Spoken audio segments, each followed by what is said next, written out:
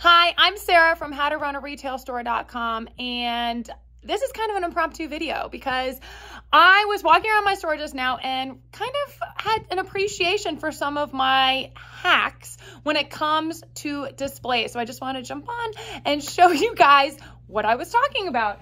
Behind me is one of them. So this is a pegboard. They can be purchased on Etsy and other places on the internet. I actually made this one. So this is literally just a piece of plywood from Home Depot. And if you have someone handy in your family, there is an attachment to a screwdriver that will make these holes. Super duper easy. And then we custom made all of these little shelves. I mean, I just had the guy at Home Depot cut them for me. It was super easy.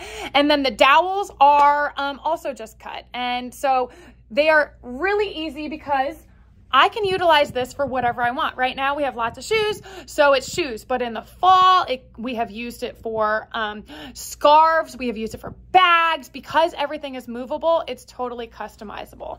That's a win. You want all of your displays to work for you. Number two, so I have two tables. Here, I'm gonna show you where I'm standing if you haven't seen any of my tour videos.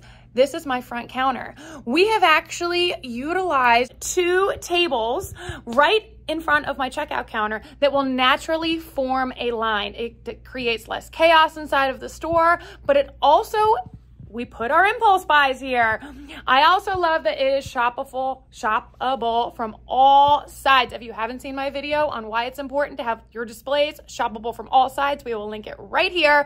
But so easy, guys. Just buy two tables, form a line, and put lots of your immediate, well, your impulse buy stuff on the table. For example, our sunglasses, we have a buy the more you buy, the more you save. So people will come up to the counter and just throw two or three sunglasses on with their order because it's right here. Another one, we have curtains throughout our store. Why did I do this? Because it creates a moment for these ladies, right? So instead of just throwing a bunch of mannequins around your store, we have created a little backdrop that forces people to stop. It's such a pop. And so people literally stop all the time and really look at the mannequins, whereas it's really easy to just walk by them. We have tied it all in by putting green curtains in all of our doorways as well. That way it ties the entire store together. Another great hack has to do with your mannequins. I am a huge believer that your mannequins should be fully styled. That means earrings, necklaces, shoes, bags. You want your customer to be able to feel themselves, see themselves in these outfits. So, styled, but guess what? It can be really hard to figure out how to put earrings on a headless mannequin. So what do we do? We either use sticky tack, which super easy. We go through boxes and boxes of this stuff, guys, because it's way better than tape. We do sticky tack when our earrings have that little lip on them. But then on top of that, we also use magnets. So there are great magnet options. This is in my Amazon uh, store. If you have not shopped that before, you can just put that bad boy on and then the uh, earrings that have a hole in them can go right on there super easy. Another quick hack is finding some black rock or other colored rock craft stores. You can get them from a pet store, throw them in a bowl and it makes your products stand out.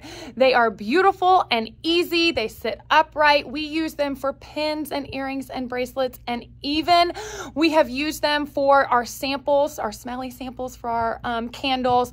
It is one of the things we always have in our closet because it is so easy to throw on a table and makes your products look amazing. And lastly, if you've seen any of my decor videos, you know what a big proponent I am of using books in your display. You guys, I know we have all been trained that the Lucite clear risers are the way to go. But if you want your store to feel elevated, get on the book train. And guess what? It's way cheaper actually than the Lucite risers. I go to thrift stores, I buy these bad boys for 50 cents each. You got to take the cover off and then you have these beautiful colors that you can coordinate with any of your displays and it gives what I like to call the Anthropologie effect. It elevates any display and it's cheap. All right, I hope those were some good tips and tricks. Little impromptu video, but I just really wanted to share with you guys all of my behind the scenes. So don't forget to like and subscribe, and we'll see you soon.